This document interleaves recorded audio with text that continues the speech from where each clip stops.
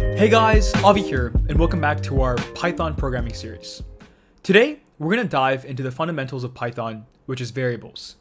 Understanding variables is vital to programming because they help store and manage data within our programs. So, what exactly is a variable? You can think of it as a storage box where you can keep different kinds of data. Imagine you have a friend who's turning 20 years old. You can store that number 20 in a variable. Or let's say you want to store a piece of text, like, my name is Avi. You can put that sentence or string in a variable. The process of creating a variable in Python is straightforward. You start by choosing a name for your variable. Let's go back to our friend who's turning 20. We'll create a variable named age. Then you can use an equal sign to assign a value to your variable. So, age equals 20. Now, age holds the value 20. When you want to use that value later on in your code, all you need to do is refer to age. But what about our sentence? My name is Avi. In Python, we can store text data or strings in a variable. For example, we can create a variable called sentence and assign it our text sentence equals my name is Avi. That string my name is Avi is denoted by quotation marks, and now the variable sentence holds that string. Variables are incredibly useful. They allow us to manipulate data in many ways, but that's something we'll explore further in future discussions. For now, I just want you to understand how to create these variables.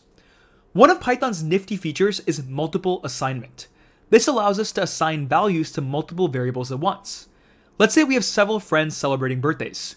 Sarah is turning 16, Bob is turning 21, Mike is turning 17. Instead of creating a new variable for each friend, we can use multiple assignment like so. Sarah, comma Bob, comma Mike is equal to and then each of their respective ages 16, 21, 17.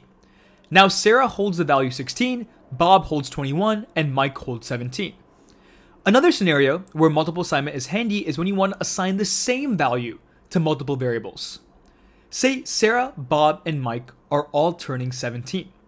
You can assign the shared value by using Sarah equals Bob equals Mike equals 17. Now all three variables hold the value 17. You might be thinking that's nice, but how is this useful in real life? Well, imagine you're a teacher with a list of student scores from a recent test. You could use variables to store each student's score and then calculate class statistics. Or perhaps you're building a social media app where each user has a profile. You could use variables to store a user's details like their name, age, and location. Knowing how to use variables gives you the power to build complex and interesting applications. Now, let's see if you can apply what we've just learned. Try to create two variables in one line, one for your name and another for your age.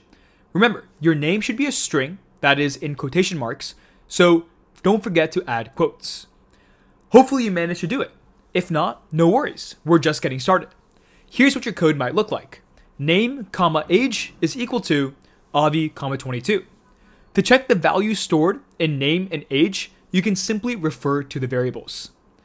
Today, we've covered some fundamental concepts, understanding what variables are, how to create and assign them, and how to assign multiple variables at once.